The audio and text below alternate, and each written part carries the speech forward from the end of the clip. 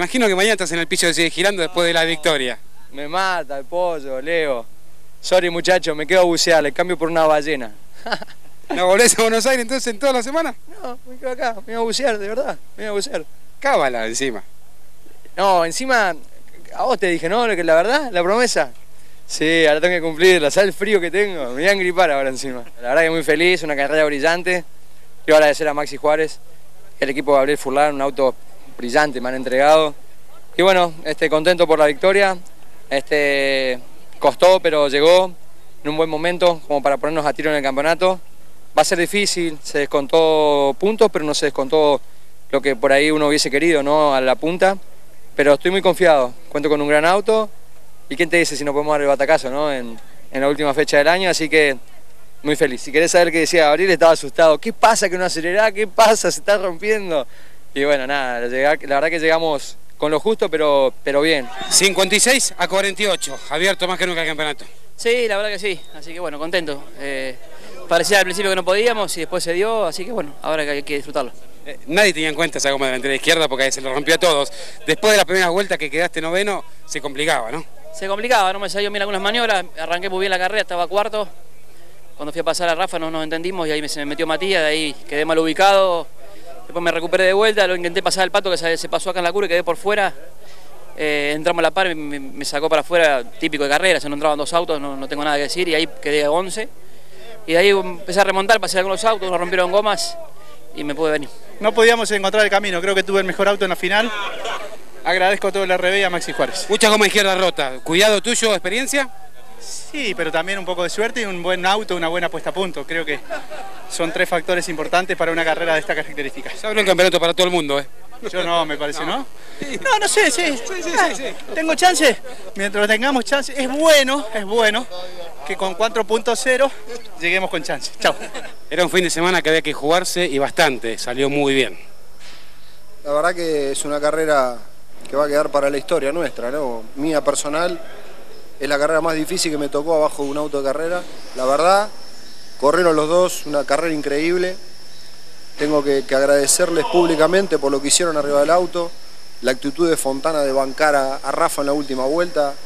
Este, yo le di la orden de, hacerlo, de que me ayude con eso y lo cumplió al pie de la letra y son grandes profesionales. Fontana un campeón, no, tengo, no lo voy a descubrir yo y el Rafa creo que va camino a hacerlo prontamente, así que llegamos a definir a la última carrera que es el objetivo de cualquier equipo, este, pero hoy los puntos se los llevaron los pilotos. Te animás a, soñar, ¿no? Con el 1.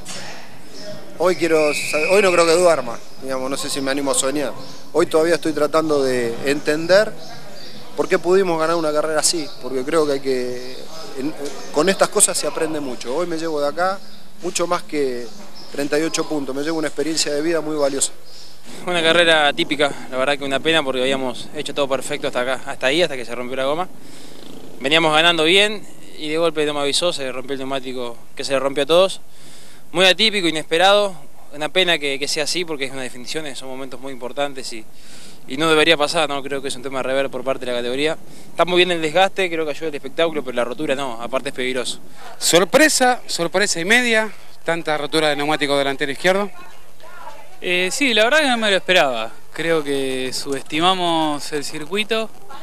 Eh, capaz que fue, en parte lo asumo como un error mío, eh, un poco lo que ocurrió y en otra parte creo que se corrió demasiado rápida la carrera, no se cuidó para nada la goma, que es lo que, lo que normalmente hacemos en todas las carreras, pero bueno, finalizado el sprint, la verdad que creí que que el desgaste no era excesivo, que se iba a poder correr eh, rápido y por eso no le insistí a los pilotos que cuiden la goma en la primera mitad de carrera como hacemos normalmente. Clarísima explicación de Maxi Juárez, por lo menos alguien que, sepa saber por qué se, no terminaron y por qué algunos sí ganan. Sí, también me quedo con el resumen de lo que decía Agustín, que es perfecto lo que tiene que suceder, que haya desgaste, pero que no rompa la goma. Sí, y felicitaciones al jefe Motorsport, brillante carrera, merecida victoria, muy contento por el Rafa Moro, que está en un gran pibe, que va a estar definiendo el campeonato. Un piloto que corre en una sola categoría, lo cual no es cosa fácil, ¿eh? Bueno, el domingo al mediodía me vi Top Race de pe a pa. ¿Me mostrás el TN? Quiero saber cómo salió campeón Moriarty Muy bien, así salió campeón Emanuel Moriatis y también Facu Chapur. Clase 2 y clase 3 del Turismo Nacional tiene nuevo campeón. Felicitaciones para ellos. Pausa y después de la pausa nos metemos ya con el rally. Dale.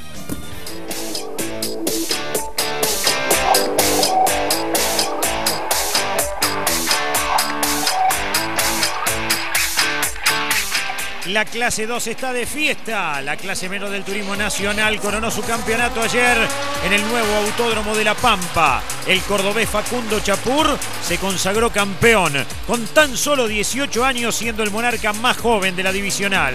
El cordobés llegó séptimo y eso le bastó para levantar la copa.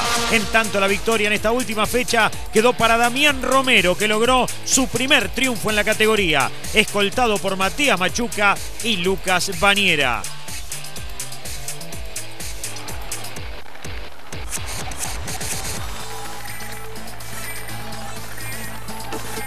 La clase 3 con un nuevo rey, Emanuel Moriati, que logró el campeonato en esta última carrera de La Pampa con el Ford Focus. Le sobró para ser el nuevo monarca debido a que sus rivales se fueron cayendo durante la competencia. Tuvo un emotivo final, una pelea entre Di Palma que aprovechó el roce en los últimos metros entre Piumeto y Estivil que al superar a Pesini se tocaron y eso le dejó el camino libre para que en la última curva Josito Di Palma se alzara con la victoria. En el campeonato Moriati campeón, subcampeón el Tato Bocio y tercero Pablo Piumeto.